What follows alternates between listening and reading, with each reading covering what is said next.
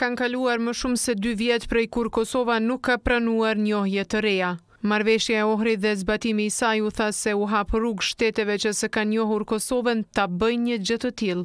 Theksi u vu posaçërisht te pesë vendet e Bashkimit Evropian që ende nuk kanë lëvizur përpara në raport me njohjen e Kosovës. RTK i ka pyetur Spanjën dhe Rumaninë për qëndrimet e tyre për njohje pas dakordimit të Kosovës dhe Serbisë në Ohër. Si shteti spanjoll, ashtu edhe ai rumun thonë se e përkrahin dialogun dhe marrëveshjen e arritur, por nuk japin sinjale pozitive për njohje. Spanja ruan pozicionin e saj si mosnjohëse e deklaratës së njëanshme të pavarësisë, të miratuar nga Prishtina në vitin dy mijë e tetë. dhe mbështet fuqishëm një zgjidhje të pranueshme reciproke përmes dialogut të lehtësuar nga BE-ja. Ministria e Punëve të Jashtme e Rumanisë vlerëson rezultatet e arritura në Ohër më tetëmbëdhjetë mars, ndërmjet Beogradit dhe Prishtinës në kuadër të dialogut të lehtësuar nga BE-ja, të cilin e mbështet fuqishëm.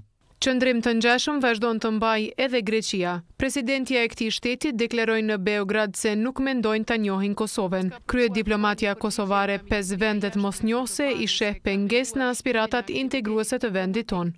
Jemi duke punuar shumë me partnerët tanë me qëllim që pesë shtetet evropiane të cilat janë një pengesë serioze për integrimet euroatlantike të Kosovës të lëvizin në procesin e njohjeve. Njohësi i marrëdhënieve ndërkombëtare Dritero Arifi mendon se BE-ja si dorëzane e marrëveshjes ndërmjet Kosovës dhe Serbisë duhet të ushtrojë ndikimin te vendet mosnjohëse.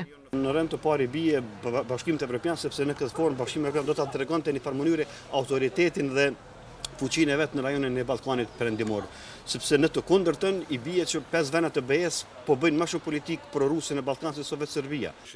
Ndihmë në sjellje të njohjeve të reja ka premtuar edhe aleati kryesor i Kosovës në fushën diplomatike, SHBA-ja. Vetë sekretari amerikan i Shtetit, Antony Blinken, ka thënë gjatë një raportimi në Komitetin për Punë të Jashtme të Senatit amerikan se pas Marrëveshjes së Ohrit presin që Sllovakia, Rumania, Qiproja, Greqia dhe Spanja të ndryshojnë qëndrim në raport me pavarësinë e Kosovës.